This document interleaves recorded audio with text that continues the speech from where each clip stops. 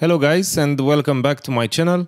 Today I want to touch a subject which I encountered uh, a lot uh, from your messages, which is uh, how to diagnose a flight controller. So what I want to um, point out from the beginning is that our setups are open frames and because we are using open electronics, it means that all the pads, connections, parts and all the stuff uh, that's on a flight controller could be messed uh, with by our hand outside the influence like water and um, stuff like that. So I want to point out today what you have to check on a non-working flight controller, find out the culprit and um, try to repair the board. Okay, first, we have to lay down the basic uh, construction of a flight controller. And i can assure you that uh, 99% of flight controllers use the same um, topology. And here i draw a basic diagram of a flight controller. So the main component on a flight controller is of course the microcontroller unit. And we also have the gyro. The flight controller works uh, pretty simple. The gyro reads the rotation speed on each axis. If there is no rotation speed, it means that the quad sits still and then sends the information to the MCU that obviously has some sort of um, software on it, be it Betaflight, Raceflight, KISS, or any other flight controller software. And then the software decides which ESC has to spin its motor faster or slower. And if we want to change the quad attitude, we then connect the receiver and send information to the microcontroller. Also, if we want to connect this microcontroller to the USB to change parameters inside the software, we have the USB, which can connect to a computer. Okay, so now let's talk about power requirements that we need to have on a flight controller. First of all, we have the gyro and the microcontroller that most of the time have 3.3 volt and receivers are uh, powered from a 5 volt supply. Okay, so first, there are two types of flight controllers. The ones that connect straight from uh, the LiPo voltage, which is this one here. And you have a 5 volt switching regulator, which takes the LiPo voltage and steps it down to 5 volt and also other types of flight controllers that don't have this switching regulator and they have to be powered from a 5 volt supply. So after we have 5 volt, we arrive here with a 5 volt from the external source. But in the same time, you can connect the USB from the PC, which also supply a 5 volt. So to separate the external 5 volt from the USB 5 volt, most of the flight controllers use this type of arrangement where you have two diodes, one on the external line and one on the USB line, meeting up on the actual uh, flight controller 5 volt line. And the reason is pretty simple. You don't want to feed 5 volt from the external line back to the USB because uh, a lot of bad things could happen from that. So to separate the supplies, you just use these two diodes and that's because diodes conduct current only in one direction. And in this particular uh, situation, they uh, lead current from left to right and not from the right to left. The USB 5 volt goes from here to here but doesn't go back and the same applies for the 5 volt external supply. After we got our 5 volt here, then we can do two things. One, send this 5 volt to the receiver and also send this 5 volt to a 3.3 volt regulator, which in most cases is a low drop uh, voltage regulator, a linear regulator, that uh, feeds the MCU and gyro. On some uh, flight controllers, you can uh, find two, depending on what uh, other devices you have on board. Um, and that's it.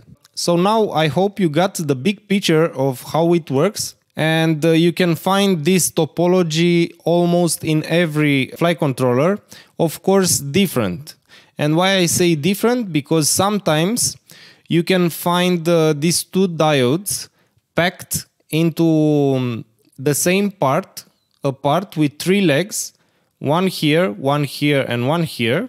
And other times you find these diodes like a single component.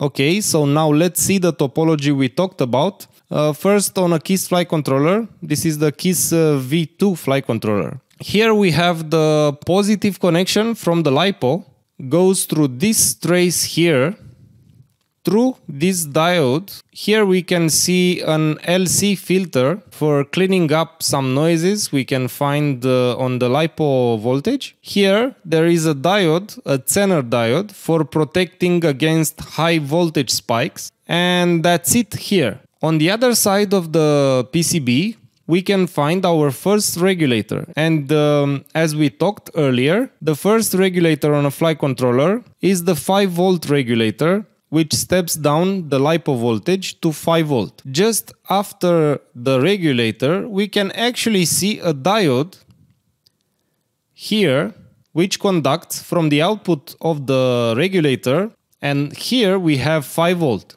If we go back to the other side of the flight controller and look at the USB, we have the 5 volt coming from the USB through this diode, which conducts only from this side, which is the USB side, to this side.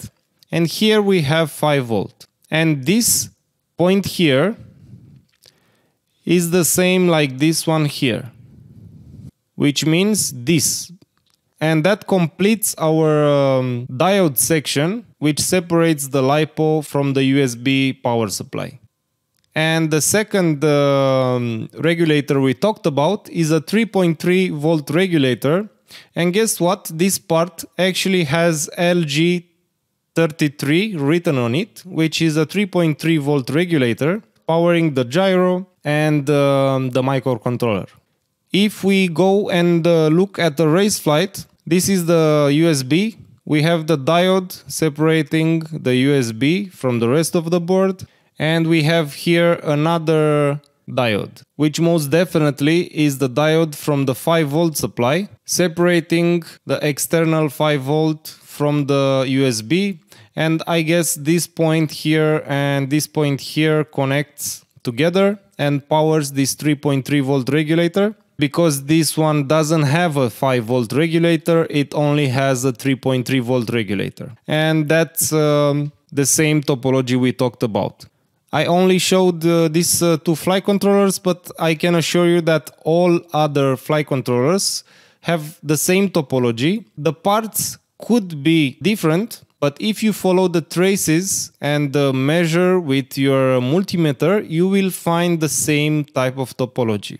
The most common fault found on flight controller is the power section. Any of these uh, input uh, parts, like the 5 volt uh, switching regulator, one of these two diodes, the MCU can be killed if you apply LiPo voltage on any of the signal lines, uh, ESC receiver or serial connections. This uh, 3.3 volt regulator I haven't seen um, broken because most of them have uh, overcurrent protection and if the MCU goes bad and this 3.3 volt line goes to ground the regulator will uh, get hot but um, most of the time it will survive what can you check to see if you have all the voltages present? First of all, you have to check the 5 volt output from this regulator if you have one. After that, check to see if you have 5 volt here from the USB and from an external source because if you only have 5 volt here from the USB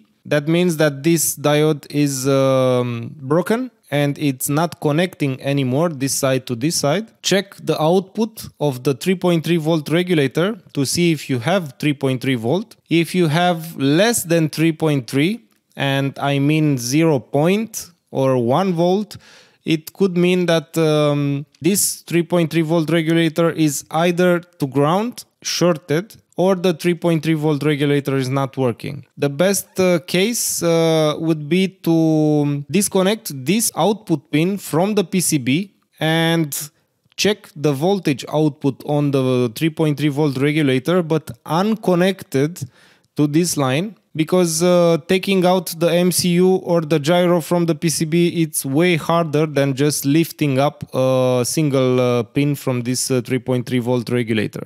And um, with that, I think I told you all about what can you check on a fly controller to see what's bad and what to replace. Of course, this is uh, not an in-depth explanation. I will be here if any of you have questions.